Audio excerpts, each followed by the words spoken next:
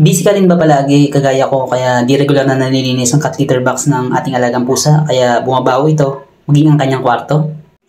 At dahil nga dito ay bumili na tayo ng pangmalakasang cat litter sun na ito nga ay ang P-Line Press Charcoal Scent.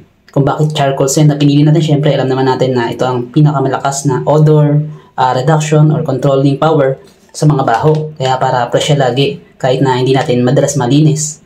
Ikalawa rito ay yun nga, meron siyang superior absorbency na nakalagay nga rito na 380%. Ayun. At syempre, para mapatunayan ang absorption power nga na yan ng ating cat liter sun na peeling press, ayan, naglagay tayo ng konting tubig. Ayan, na kunwari yan yung wiwi niya.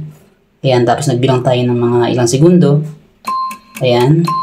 Tapos, dilagdagan, dilagdagan pa natin, mga 15 seconds siguro yan. And then, Ayan, after nyan ay saka natin, ayan, tinabunin natin ibabaw para pati ibabaw ay nalagyan ng ating cat litter sun. Ayan, kinlamp na natin. Taktak lang natin. Ayan.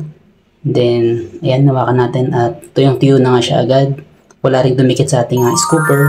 Ibig sabihin talagang na-absorb lahat ng cat litter sand. Ayan, hawak-hawak natin. Ayan, solid naman siya. Ayan. And then firm. Ayan, yung clamping niya maganda naman. 99% dust free din siya kaya kahit na kalkalin or halukayin ng ating alagang pusa ay safe para sa kanilang lungs, gayon din sa ating mga fur parent nila. Isa pa sa nagustuhan natin dito ay yun nga, natural ingredients niya.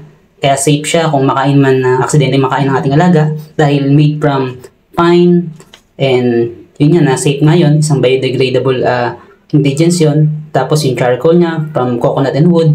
And then yung isang ingredients pa na natural binders na galing sa guar beans. Kaya safe na safe yung ating alaga.